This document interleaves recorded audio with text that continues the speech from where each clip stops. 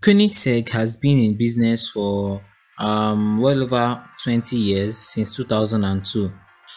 In 2002, they released the CC8S, which was the first production car of Koenigsegg, which won the Guinness World Record for the world's most powerful production car. Some years later, Koenigsegg presented the CCR, the CCX, the CCXR, the Agera range of cars, and many more. Koenigsegg is celebrating its 20 years of being in operation by releasing the perfect modernization of the CC8S. I present to you the world's premier Koenigsegg CC850. So let's get into full analysis of this car. I am Charlie and you're watching the Four Wheelers. This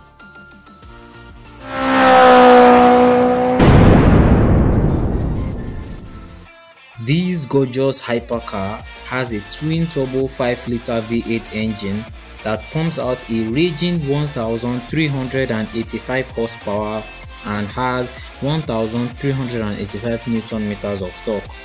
And guess what? This car also weighs 1385 kilos, which gives it a 1 to 1 power to weight ratio and to transfer that power to the wheels, you get to decide whether you want to have it in automatic mode or engage a proper 6-speed manual transmission. This means that you have both automatic and manual transmission all in one car. It also has a clutch pedal which gives you that manual feel. There's actually no pricing info on this car yet, but Koenigsegg announces that only 50 will be built and that's where the 50 on the name CC850 comes from. Let's take a closer look into its design.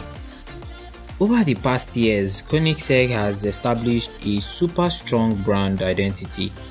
They have designed features and graphics in their cars that you don't get to see in any other car. Taking a look at the front, we notice these nice graphics as well as the big fenders which is typical to its older 2002 version. We also have these modernized headlights and tail lights. And trust me, if you want to study plantedness in a car, study the Koenigsegg CC850. Having a closer look at the tail lights, we notice a massive growth in Koenigsegg's mechanics in the Agera, we had almost like an oval tail light, but the LEDs were dots. But on the CC850, it has been upgraded to proper looking LED tail lights, even though they still reminisce the three circular designs that we have on the CC8S. This hypercar uses Michelin Pilot Sport Cup 2R tires which fit well inside the wheel well. We have a big diffuser in the lower part with a centrally mounted massive exhaust pipe. Koenigsegg has its own design language which I love so well, especially looking at it from the side view over here. We have this egg-shaped design as well as a fighter jet look with the wrapped round windshield. One thing I love again about the past and present Koenigseggs is that they have the Swedish flag on top of the stick shifts right here.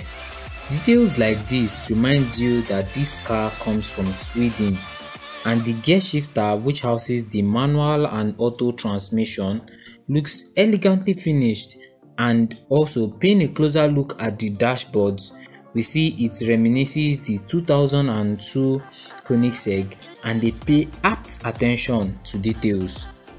This hypercar runs on biofuel E85 which makes it better for the engine and for our environment. Koenigsegg wishes you a happy 20 years anniversary. Let me know what you think about this environmentally friendly hypercar right in the comment section below.